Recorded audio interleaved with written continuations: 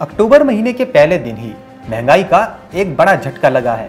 सरकारी oil marketing कंपनियों ने 1 अक्टूबर से एलपीजी गैस सिलेंडर की कीमतों में बढ़ोतरी की है।